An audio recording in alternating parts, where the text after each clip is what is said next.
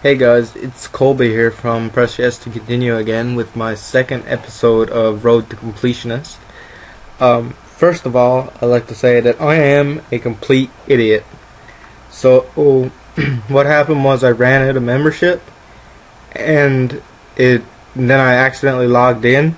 So then I was teleported to Lumbridge. So I lost all my runes and stuff, and it's really shitty. But uh, there's one thing that I'd like to show you guys, and that's uh, as you can see, since RuneSpan come out, I've gained 7.5 mil XP, and my points were uh, close to two 200k, and that's not including all the runes that I had in my inventory.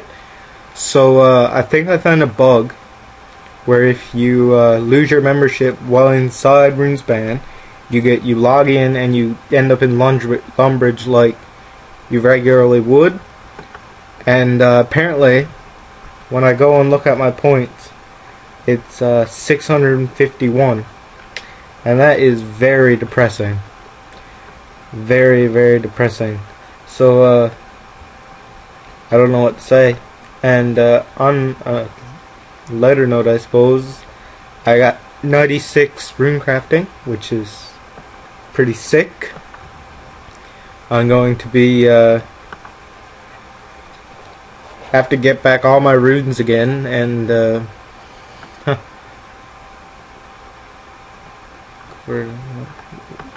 yeah I never converted any of my runes into points and I lost all my points as you can see up right here now like I don't I don't understand that what I wanted to talk about was uh, RuneSpan in general. There's people who uh, asked what what was my method for RuneSpan, and what I found to be the best method is to camp an island with the highest esswraith or esshound that you can do. For me, it's uh, Soul esswraiths, and then just like you'd have two islands neighboring each other and then when nodes appear, you go to those islands and uh, siphon the nodes instead instead of the esswraiths. And uh, I've been able to get a a lot of S per hour by doing this. A lot of uh, XP per hour, I mean. So yeah, that's basically my method of doing it. Um, I'm sure there's more efficient ways, like. Uh, I don't know, like node hunting or some something random like that. So yeah, that's the end of uh, this video, and I'll try to get one out as soon as possible. Possible. Blah, can't talk today.